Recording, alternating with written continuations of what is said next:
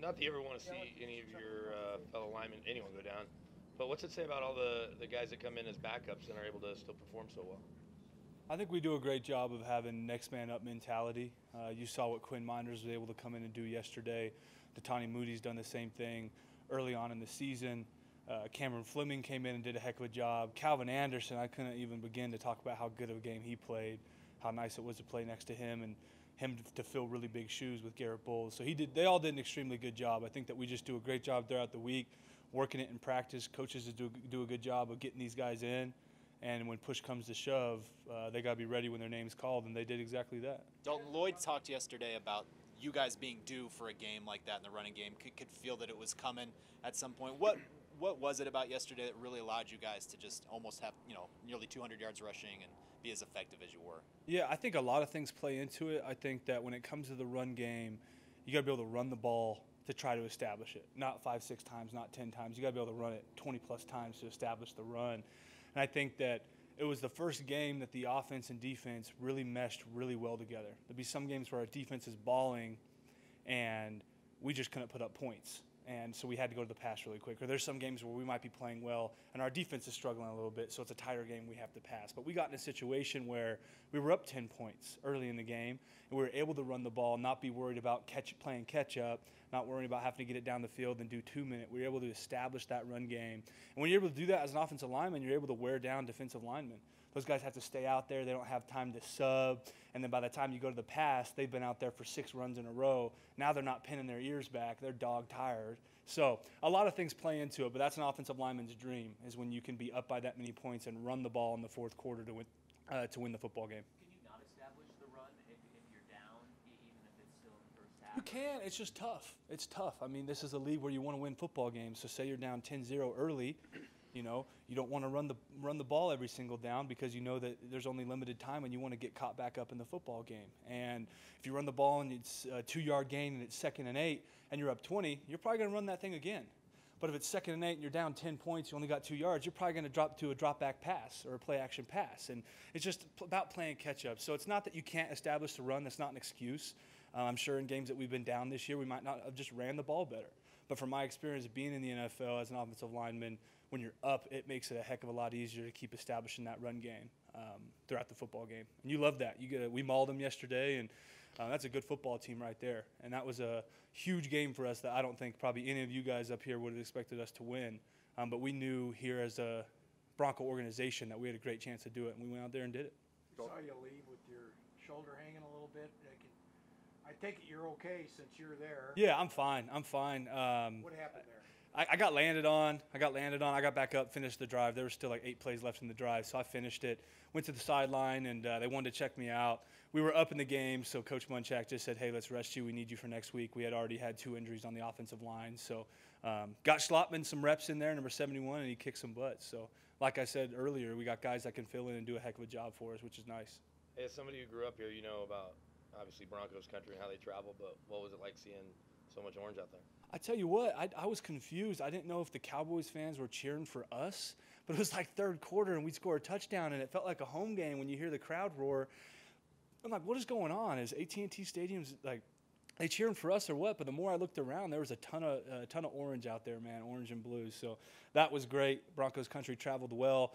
I'm glad we could get a big win for them, and now we have a great opportunity to go six and four in the bye week, which is I think very important um, opportunity to win and be at the top of our division before we really start most of our league play. I mean, after this week, we'll have seven games left in the season, and five of them will be AFC West football teams. So um, that's when we really need to get down and get to work. Dalton, how much is from these last two weeks, Dalton, that you guys can now apply going forward because you kind of put yourself up against backs against the wall a little bit with that losing streak. Yeah. What have you learned from these last two weeks now moving forward? You can, it can be more consistent instead of yeah. roller coaster it was these first eight games. Yeah, I think just working well with each other, Troy. Um, we worked really well as a team on Sunday, and this is a team game.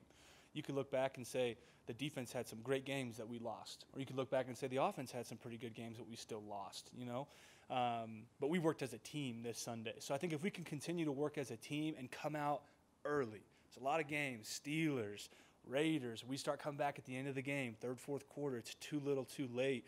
We got to come out and do what we did against the Cowboys. to every team this season. We got to come out hot. We got to get stops early. We got to score points early. I was really impressed with our offense yesterday with converting on third down. It's been a big uh, thing for our offense this year um, is maybe not converting on third down when we need to, but we converted a lot of third downs, and then we got in the red zone. We weren't settling for a lot of field goals. Yeah, we kicked a few, um, but we punched it in when we needed to. So I think all those phases moving forward, punching it in when you're in the red zone, not settling for field goals, doing better on third down, and starting the game early. I think those are some key factors um, in us going forward. But you beat a team like that, who won six in a row, top of top of the NFL. A lot of people would say. we- Now that we beat them, they might not say that, but before we, we beat the Cowboys, people were saying that um, we can beat anybody, and we know that we've known that we could do that. We just got to make sure we do. Dalton, what's the reaction in your room to losing a guy like Graham Glasgow? I mean, unfortunately, he's just kind of been one hit after another for him, kind of since he got here. Graham's a role model. Um, since Graham showed up, I've learned a ton from Graham Glasgow. I love watching the dude. He's so technical. Great guy to have in the room.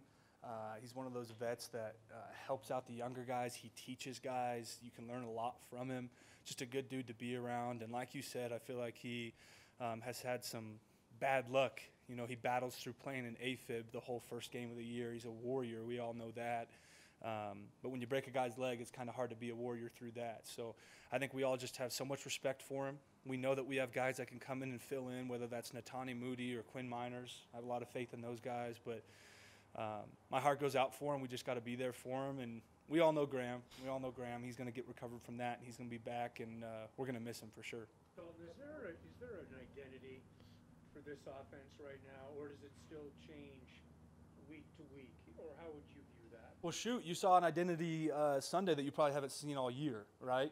Um, that's the identity we would like to assume. We would like to assume the role of we're going to maul you down the field in the run game. We're going to rush for 150 plus, and we're going to play action when it's needed and throw it to Tim Patrick, Courtland Sutton, or Jerry Jeudy. Um, that's the identity we would like to have, I'd imagine. I don't speak for Coach Shurmur, but um, offensive lineman identity, that's what, the, that's what me, my guys in my room, that's what we would like. Um, but uh, I, I don't know. I think that our identity as an offense is coming together more and more as we go throughout the year. I think we're continuing to mesh better. Teddy's getting more comfortable, and we know Teddy can drop back and pass. We know we have amazing wide receivers with a lot of length. Uh, having Jerry uh, back is huge. Uh, we also know we can run the ball. Um, not saying it's easy, easy as an offensive line, but when you got Williams and Gordon back there, 33 and 25, it's pretty fun blocking, man. So um, I'd say our identity is slowly becoming that we can run the football, but you also got to protect the pass because we got some dogs uh, at the wide receiver position. What was as it about yesterday? Why was yesterday special? Uh, for a lot of things, I think the, the whole press conference talking about some of the reasons of starting early and converting on third down and making sure we ran the football all goes into that. Um, and the tough deal is, is every week we look at teams before the game. A lot of people might have looked at the Cowboys and said, you know, I don't know what kind of chance the Broncos have. You know, they're four and four. You know, uh, Cowboys are six and one. But in our room, when we watch the film, we know the opportunities that are there. And there's games that we felt the same way about the Cowboys, and we went out and lost to the Raiders, 34 to 24, and really 34 to 17 because we scored at the end of the game. Um, it was just one of those games that we made it happen and it clicked. Sometimes you have a game plan, you go into that game saying, "Hey, we know we can do this against them." But you don't do it so well for a lot of reasons, whether that's a player mistake on the offensive line or quarterback, wide receiver, whatever it may be. But I think we executed at a high level yesterday, and we worked together as a team, and I think that that came to fruition with such a big win. You saw that yesterday. You you guys are like a stone. When you get going, you're going. What do you have to do when it doesn't start like that? In those other games you mentioned in the middle where you're on the back foot and on the Yeah. and keeping that confidence. You can see mentally when you guys are confident, there it goes. But Yeah. then the other thing happens. Yeah, I think we got to just learn to fight through it. Um, it's not an excuse. I think we have some younger guys on our football team. I mean, I'm only in my third year. By no means am I a veteran. Um, but when we get put in those situations, as an offense, we have to learn to calm down, take a deep breath, say, we know we're okay. Let's get this going now. Let's not wait to the third, third quarter. Let's get our confidence going. I think that just comes with growth, and I hope that the, the next time that happens, we answer the bell. Um, you know, against the Washington football team, it was 10 to 10. Things weren't going our way. First half, they kind of did. Really, really uh, slow third quarter. We got the ball 10 to 10, and we had to drive the whole field and punch it in, and we did. Um, so that made me happy. I think there's a lot of growth with our offense. So let's hope that we're growing and we're gaining that confidence to the point where we do get put in those tough situations. Maybe it's not tied. Maybe we're down 10 to 0 early, that we can make sure we bounce back from that. But I'd say every game we've played in, uh, a lot of teams would probably lay down. You look at the Steelers game, what an awful first half for the offense, right? I mean, it was awful. I don't remember how much we were down, but we stay around. We got heart. We got heart on this offense, and I think that that's something that can always be remembered. Is like, hey, when we have been down this year, we've always battled back and fought the whole game, and it made a lot of games that we were down a lot made them pretty interesting. So we just got to make sure to keep pushing forward in that respect. What's it like when you see Javonte get one of those angry runs, carrying dudes back? I love it.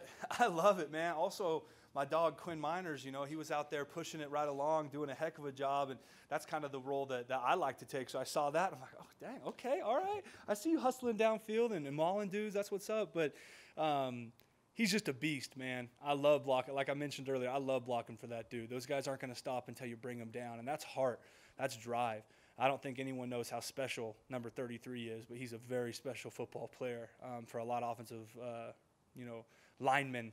Um, we've been around a lot of guys, and we all agree that guy's very special. Melvin's very special as well. He's going to push for every single yard as well. So, um, having guys like that, man, they make it fun. Yesterday was a, a, a fun football game beating America's team, man. So maybe Broncos are America's team today, right?